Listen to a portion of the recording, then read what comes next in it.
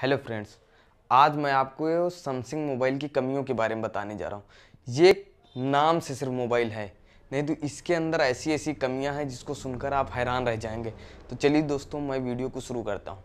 लेकिन अगर मेरे चैनल पर आप नए आए हैं तो मेरे चैनल को सब्सक्राइब कर लीजिएगा और बेलाइकन घंटी ज़रूर दबा दीजिएगा, जिससे कि मेरी अगली आने वाली वीडियो मिलती रहेंगी और आप कुछ ना कुछ नया सीखते रहेंगे।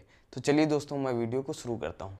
सैमसंग मोबाइल की जो इस टाइम पर ए सीरीज़ चल रही, उसमें सबसे बड़ी ये कमी है कि उस सीरीज़ में आपको चलता चलता मोबाइल जो है चलता चलता मोबाइल है आपका, वो स्विच ऑफ़ हो जाता है।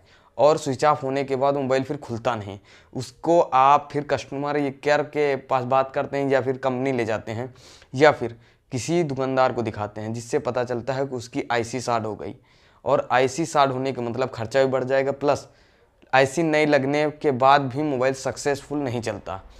तो फिर इसके लिए आप मोबाइल कूड़े में ही फेंकिए। तो कोई फ़ायदा नहीं सैमसंग मोबाइल ख़रीदने से। तो चलिए दोस्तों, मैं वीडियो का अंत करता हूँ। अगर आपको मेरी ये वीडियो अच्छी लगी तो मेरे चैनल को सब्सक्राइब कर लीजिएगा और कमेंट करके बताइएगा कि आपका सैमसंग का मोबाइल कैसा चल रहा है। तो चलिए दोस्तों, मैं वीडियो का अंत करता हूँ।